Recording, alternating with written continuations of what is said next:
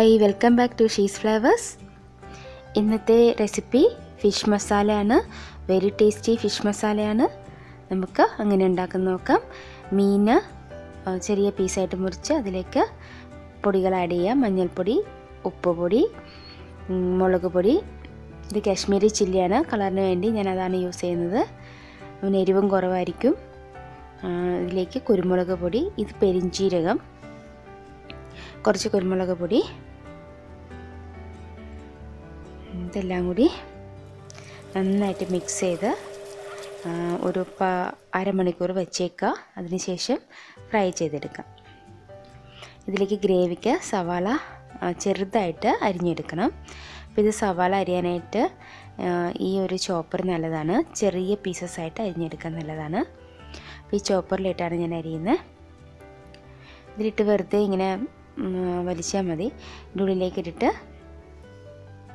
വെറുതെ നമ്മൾ വലിക്കുമ്പോൾ നന്നായിട്ട് അരഞ്ഞ് അരിഞ്ഞ് കിട്ടും. നല്ലതായിട്ട് ചോപ്പ് ചെയ്ത് കിട്ടും. നല്ലൊരു ചോപ്പറാണ് ഇത് യൂസ് ചെയ്യാൻ തുടങ്ങിയ പിന്നെ ഇത്തിരി ഈസിയാണ് അരിയൽ അങ്ങനത്തെ കാര്യങ്ങളൊക്കെ ചെറുതായിട്ട് അരിയാനൊക്കെ വളരെ ഈസിയാണ് ഇത് കണ്ടോ? നല്ല ഫൈനായിട്ട് അരിഞ്ഞു കിട്ടും.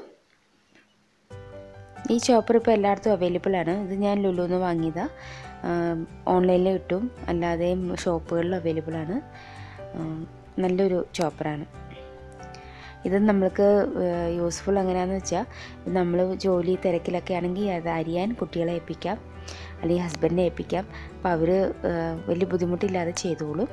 നമ്മളുടെ പണി കുറച്ച് കുറഞ്ഞു കിട്ടും. ഈ ചോപ്പർ എല്ലാവരും ഒന്ന് ട്രൈ ചെയ്ത് നോക്കുക. ഇത് അഡ്വർടൈസ്മെന്റ് ഒന്നും അല്ല കേട്ടോ. ഞാൻ യൂസ് ചെയ്തിട്ട് നല്ലതായതുകൊണ്ട് മാത്രം പറഞ്ഞതാണ്. ഇതുപോലെ തന്നെ ഇഞ്ചി വെളുത്തുള്ളി പച്ചമുളക് ഒക്കെ ഇതിലിട്ട് ഇങ്ങനെ ചെറുതായിട്ട് അരിഞ്ഞെടുക്കാം.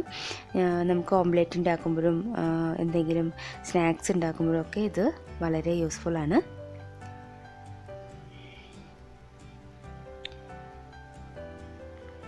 നല്ല ഫൈനായിട്ട് അരിഞ്ഞ് വെച്ചിട്ടുണ്ട്.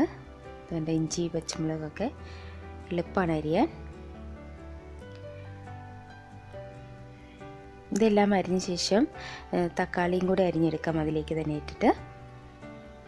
തക്കാളി അരിഞ്ഞതാണ്. ഒന്ന് ഇതിലിട്ട് വലിക്കുമ്പോൾ ഒന്നും കൂടെ ഒന്ന് ചതഞ്ഞ് ഒന്ന് അരിഞ്ഞതുപോലെ കിട്ടും. അപ്പോൾ നമുക്ക് ഈസി ആയിട്ട് ഉണ്ടാക്കാൻ പറ്റും. ഇതുണ്ടോ? ഈ ഒരു പാകത്തിൽ തക്കാളി എടുത്താൽ ഉണ്ടാക്കാൻ എളുപ്പമാണ് പാൻ ചൂടായി കഴിയുമ്പോൾ അതിലേക്ക് വെളിച്ചെണ്ണ ഒഴിക്കാം.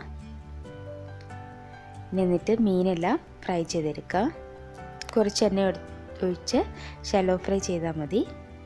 രണ്ട് വശമൊന്നും ഒരിച്ചെടുക്കുക അത്രയേ ഉള്ളൂ. ഒരുപാട് കട്ടിയായിട്ട് ഫ്രൈ ആവേണ്ട കാര്യമില്ല. ജസ്റ്റ് ഒന്ന് കുക്കാവുക അത്രയേ ഉള്ളൂ.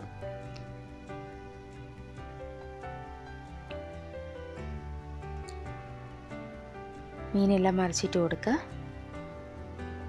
ഏത് മീൻ വേണമെങ്കിലും എടുക്കാം. അധികം മുള്ളില്ലാത്ത മീനായിരിക്കും നല്ലത്.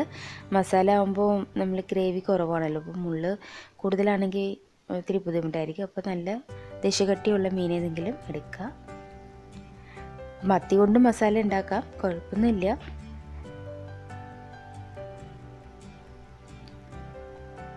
ഈ ഒരു പാകത്തിൽ എടുത്താൽ മതി. രണ്ട് വശവും ഒന്ന് ഫ്രൈ ആയി കിട്ടിയാൽ മതി.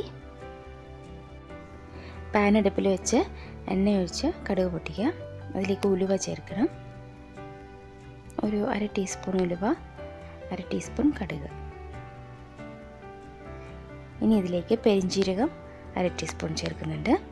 ഇത് മൂന്നൂടെ ഒന്ന് റോസ്റ്റ് ആയ ശേഷമാണ് ബാക്കി ചേരുവകൾ ചേർക്കുന്നത്. അരിഞ്ഞു വെച്ച ഇഞ്ചി വെളുത്തുള്ളി പച്ചമുളക് ചേർക്കുക. ഇത് നന്നായിട്ട് ഒന്ന് റോസ്റ്റ് ആയ ശേഷം സവാള ചേർക്കാം. ഇപ്പോൾ ഇതിന്റെയൊക്കെ ഒരു മണം ആദ്യമേ തന്നെ എണ്ണയിൽ വന്നു കഴിയുമ്പോൾ ആ ഒരു മസാലയ്ക്ക് നല്ലൊരു ടേസ്റ്റ് ആയിരിക്കും. ഇപ്പോൾ ഉലുവ പെരിഞ്ചീരകം വെളുത്തുള്ളി ഇഞ്ചി പച്ചമുളക്. ഇതിന്റെ ഒരു കോമ്പിനേഷൻ നല്ലതാണ്.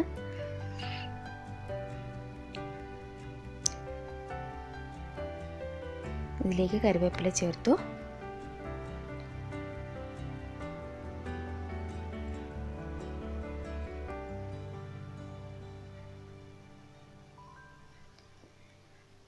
ഇനി ഇതിലേക്ക് സവാള ആഡ് ചെയ്യാം.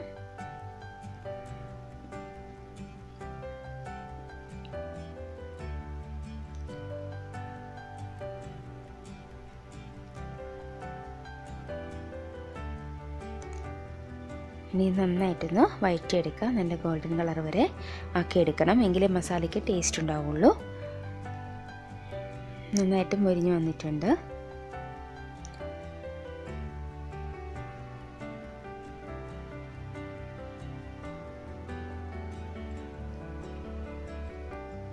ഇനി ഇതിലേക്ക് പൊടികൾ ആഡ് ചെയ്യാം.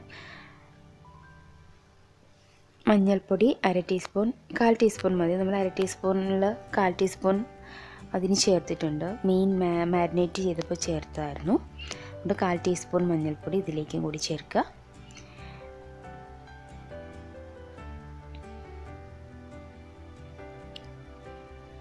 ഇനി വേണ്ടത് മുളക് പൊടിയും മല്ലിപ്പൊടിയുമാണ്. മല്ലിപ്പൊടി കുറവും മുളക് പൊടി കൂടുതലുമാണ് എടുക്കുന്നത്.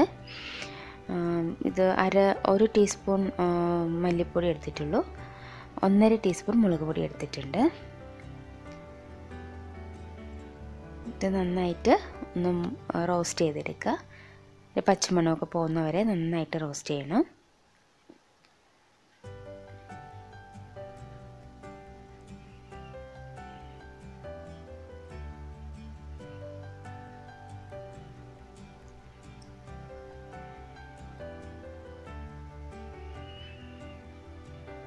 ഞാൻ എണ്ണ അധികം ഒഴിച്ചിട്ടില്ല.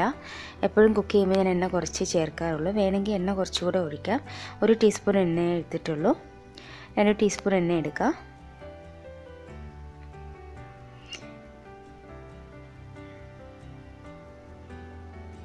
കുരുമുളക് പൊടിയാണ് ചേർത്തത്.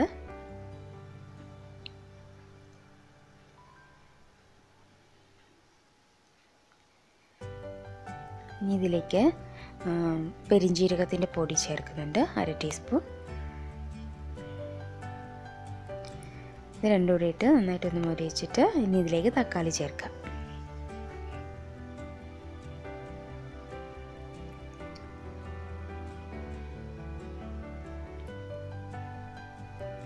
തക്കാളി അരച്ച് വെച്ചതാണ്. അരച്ചതല്ല ക്രഷ് ചെയ്തതാണ്. ഇങ്ങനെ ചേർക്കുമ്പോൾ പെട്ടെന്ന് അലിഞ്ഞ് ചേർന്നോളൂ.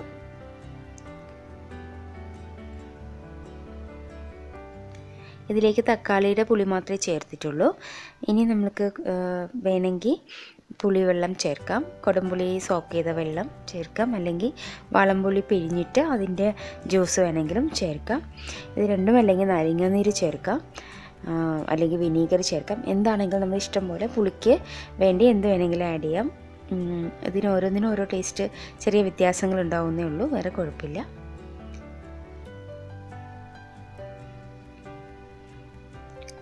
പുളി കൂടുതൽ വേണമെങ്കിൽ മാത്രം ചേർത്താൽ മതി.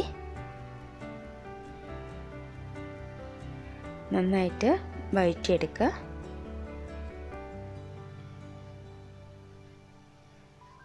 ഇതിലേക്ക് ഞാൻ കോക്കനട്ട് മിൽക്ക് പൗഡർ രണ്ട് ടീസ്പൂൺ ഒക്കെ ചേർക്കുന്നുണ്ട്. അല്ലെങ്കിൽ തേങ്ങാപ്പാൽ പിഴിഞ്ഞിട്ട് അതിന്റെ പാലെടുത്തിട്ട് അരമുറി തേങ്ങയുടെ പാൽ ഇതിലേക്ക് ചേർക്കുക.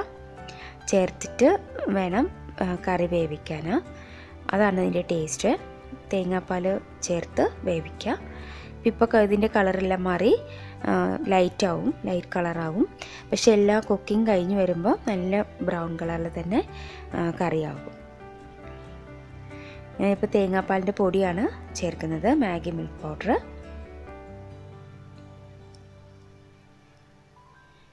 ഇതുണ്ടപ്പോൾ ശരിക്കും ഒരു മഞ്ഞ കളറ്. ആയി. ഈ കളർ കളറൊക്കെ ചേഞ്ചായി നല്ല ഡാർക്കായിട്ട് വരും. ഇതിലേക്ക് ആവശ്യത്തിന് ഉപ്പ് ചേർക്കുക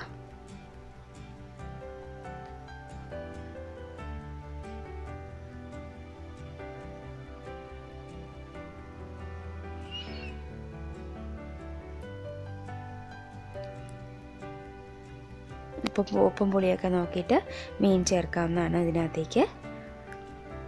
ഇതിലേക്ക് കുറച്ചുകൂടെ കറിവേപ്പിലയൊക്കെ ചേർക്കുക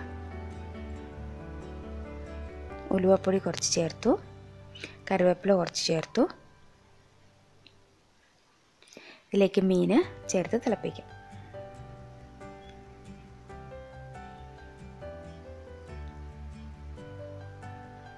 മീൻ അധികം വേവേണ്ട കാര്യമില്ലല്ലോ.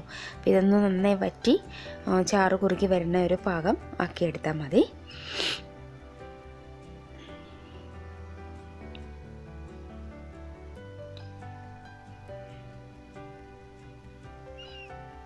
ഇനിയും ചെറിയ തീയിൽ വയ്ക്കുക തുറന്നു വെച്ചാൽ മതി. അന്നേരം വേത് വറ്റി വറ്റി വരും. അപ്പോൾ ഇടയ്ക്കിടയ്ക്ക് ഇളക്കി കൊടുക്കുക. മസാല റെഡിയായി വരുന്നുണ്ട്. ചാറ് കുറുകി നല്ല ഒരു തിക്കാവുമ്പോൾ ഇനി എടുക്കാം. നല്ല ടേസ്റ്റുള്ള ഫിഷ് മസാലയാണ്. നമുക്ക് എന്ത് ഫുഡിന്റെ കൂടെയും ചപ്പാത്തിയുടെ കൂടെയും ചോറിന്റെ കൂടെയും എല്ലാത്തിന്റെ കൂടെ കഴിക്കാൻ പറ്റുന്ന ഒരു നല്ല ഫിഷ് മസാലയാണ്. എല്ലാവരും ട്രൈ ചെയ്ത് നോക്കണം. ഫീഡ്ബാക്സ് ഒക്കെ അറിയിക്കണം. ചാനൽ ഇഷ്ടപ്പെട്ടാൽ സബ്സ്ക്രൈബ് ചെയ്യണം ലൈക്ക് ചെയ്യണം ഷെയർ ചെയ്യണം. Have a nice day. Bye.